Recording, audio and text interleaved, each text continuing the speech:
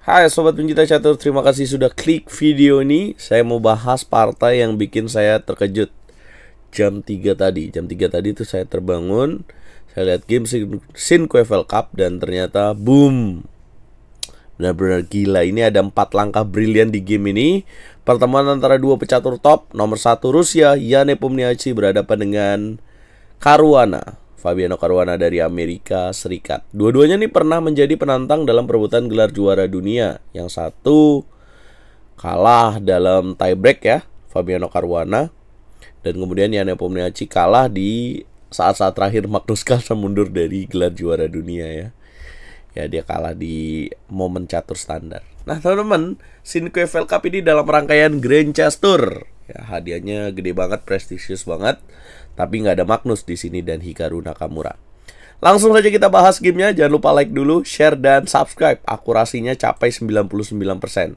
Coba tebak yang mana. Putih memulai dengan langkah E4, hitam C5, putih kuda F3, membuka sisi land defense, hitam G6. Ini hyper accelerated dragon, teman-teman. Jadi bedanya dengan dragon variation yang biasa, ini lebih cepat langsung G6 dan kemudian putih D4, sikat pakai pion, sikat pakai kuda oleh putih, kemudian gajah G7, putih kuda C3, hitam kuda C6, langsung menyerang kuda di petak D4. Dijaga pakai gajah oleh putih, kemudian kuda F6, putih gajah C4, yes, langsung mencegah langkah D5 sekaligus menghidupkan perwira. Hitam mengamankan raja, putih gajah mundur ke petak B3, hitam D6, putih F3 mencegah kuda ke petak G4, hitam menteri ke petak A5 langsung memberikan pin. Nah, kemudian putih lanjutkan dengan langkah menteri D3 di langkah ke-10, hitam lanjutkan dengan kuda E5, putih menteri D2, hitam gajah D7, putih lanjutkan dengan rokade panjang dan hitam benteng F ke petak C8. Lihat ya, hitam udah langsung setup serangan, menyerang langsung nih. Jalur C-nya dia langsung siap, kudanya bisa siap ke petak C4. Juga terkadang mengancam kuda di petak C3, menteri juga mengancam kuda di petak C3. Ini secara nggak langsung gajahnya juga bahaya nih teman-teman. Kalau dalam pembukaan Sicilian Hyper uh, Hyper Accelerated Dragon. Pokoknya andalannya di ini juga nih, di gajah Keto ini. Nah, langkah ke-13 kira-kira putih ngeresponnya gimana? Putih lanjutkan dengan langkah Raja B1, positional move, hitam kuda ke petak C4, pukul pakai gajah, ya. Karena rugi kalau putih nggak pukul ya. Kemudian pukul pakai benteng, nanti kudanya bisa makan gajah kalau didiemin. Kemudian putih lanjutkan dengan langkah G4, hitam gajah ke petak E6, dan kemudian putih kuda B3. Gajah E6 ini bukan sekedar langkah, tapi tujuannya adalah kombinasi benteng makan kuda di petak C3 dan menteri mendapatkan pion di petak A2. Jadi langsung ditutup dengan kuda B3 yang nggak mau tuker ya karena rugi. Nanti gajahnya makin hidup di sini. Kemudian menteri mundur ke petak 6, putih mainkan langkah gajah D4, hitam menumpuk benteng di jalur C, dan putih melakukan langkah blunder dengan G5. Saya kasih waktu buat teman-teman tebak di sini.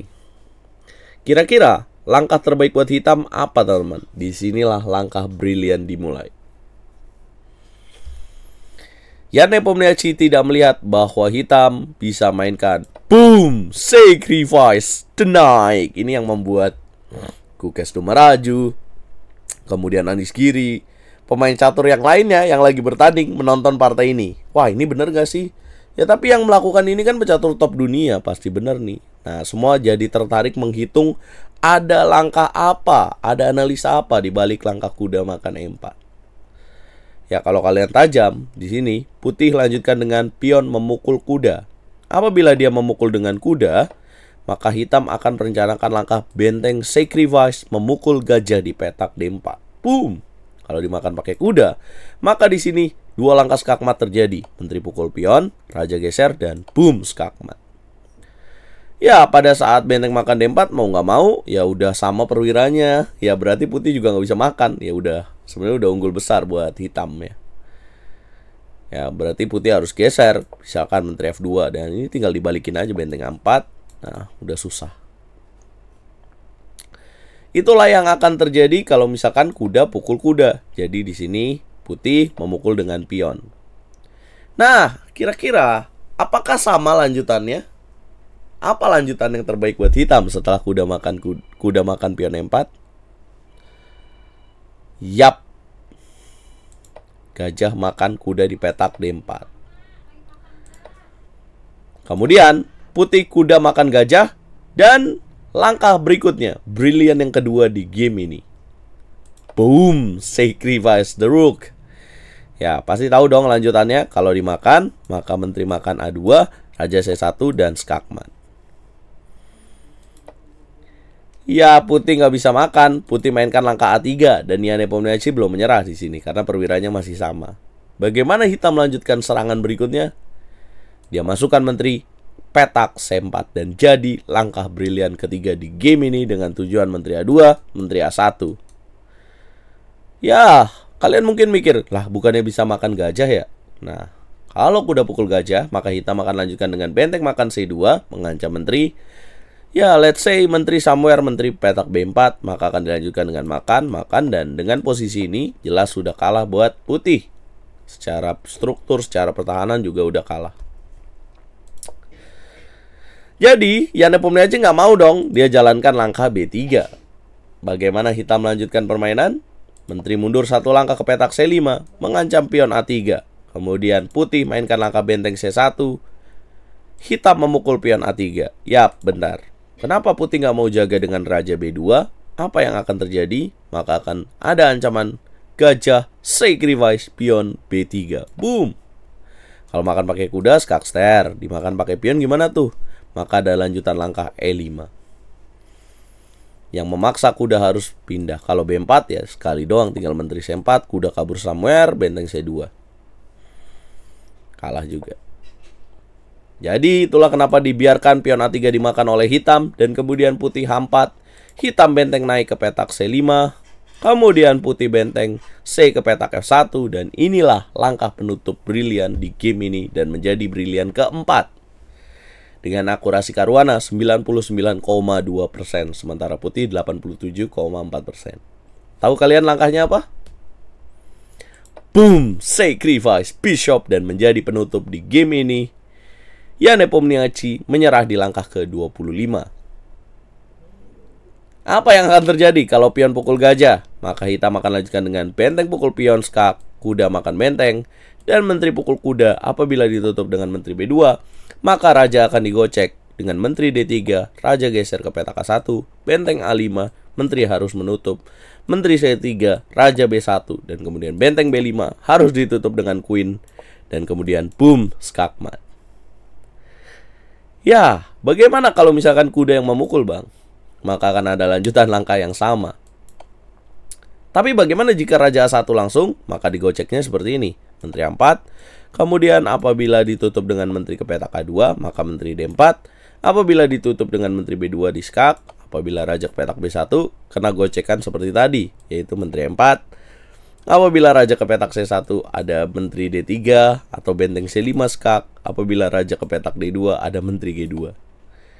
Jadi ini ujungnya bakal digocek lah dan bakal kena juga.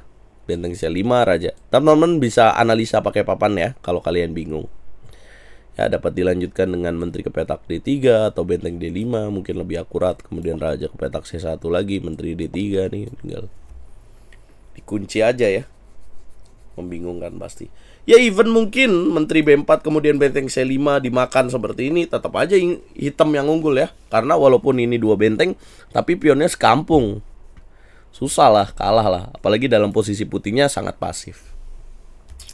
Indah bukan teman-teman. Permainan dari Fabiano Caruana jarang sekali terjadi di level super level uh, top level seperti ini ya. Karena kenapa jarang terjadi permainan tal di era sekarang ya karena seharusnya pemain catur jadi lebih solid karena mereka sekarang bisa belajar dengan komputer yang super canggih jadi mereka pasti menemukan langkah-langkah terbaik dari opening sampai middle game biasanya tuh kalau top level preparationnya persiapannya tuh dari opening sampai middle game tapi ini mengherankan Kenapa di top level seperti Yane Pomniachi bisa terjadi kesalahan seperti ini? Nah, saya mengambil banyak analisa. Uh, uh, menurut saya mungkin karena Yane Pomniachi ini terlalu sering melangkah cepat ya. Coba lihat waktunya teman-teman. Ya, dia selalu mengharapkan dengan melangkah cepat lawannya akan nervous dan lawannya akan melakukan kesalahan. Ya, coba dengan penggunaan waktunya. Ini kan gamenya dimulai dengan 2 jam ya. Tapi lihat penggunaan waktunya dari si Ian Nepomniachtchi pada saat melakukan kesalahan yaitu dengan jalan G5.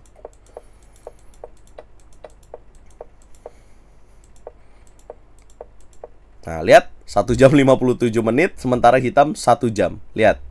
Dan kemudian pada saat melangkah kuda makan E4 ya Fabiana Caruana spend waktu 15 menit untuk memikirkan kuda E4. Nah, pada saat menjalankan langkah G5, ya Nepomniachtchi hanya membutuhkan waktu berapa detik? Nih, dari 30 nah menjadi 54. Berarti ada tambahan waktu dan dia cepat sekali melangkahnya. Nah, itu adalah sisi lain kenapa bisa terjadi blunder sefatal ini, teman-teman. Jadi, kalau kalian nonton di video RL Chess, bukan hanya sekedar analisa langkah aja, tapi saya akan bagikan experience ketika saya nah, ketika pemain bermain ya. Jadi kenapa bisa salah seperti itu. Yap, jangan lupa bantu video ini berkembang dengan cara like, share, komen, dan subscribe. Bantu RL Chess menembus 74.000 subscriber, guys. Gila ya, akhir-akhir ini kita nonton 4 langkah brilian terus gokil.